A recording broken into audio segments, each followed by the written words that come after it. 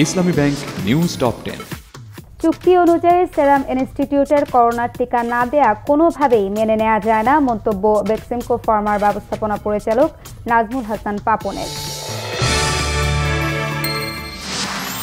লকডাউনের এগারোতম দিনে রাজধানীর বিভিন্ন পয়েন্টে ঝিমিয়ে পড়েছে চেকপোস্ট গণপরিবহন ছাড়া রাজপথে চলছে সব ধরনের যানবাহন।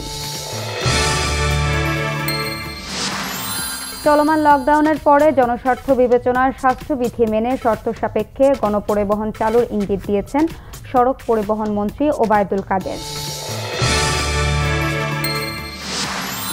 লকডাউন কার্যত ব্যর্থ, উল্লেখ করে দরিদ্র মানুষের জন্য রাষ্ট্রীয় তহবিল থেকে বিশেষ বরাদ্দের দাবি মির্জা ফখরুলের।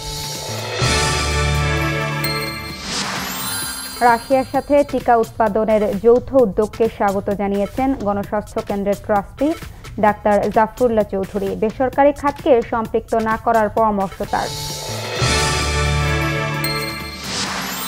সাভারের রানা প্লাজা ট্র্যাজেডির আট বছর আজ এখনও যথাযথ ক্ষতিপূরণ পাননি অনেকে।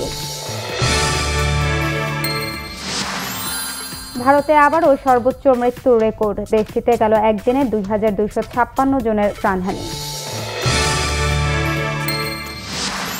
ফেব্রুয়ারিতে ক্ষমতা দখলের পর প্রথমবারের মতো দেশের বাইরে মিয়ানমারের সামরিক শাসক মিনওয়াল হুলাইং যোগ দিচ্ছেন জাকার্তার আসিয়ান সম্মেলনে।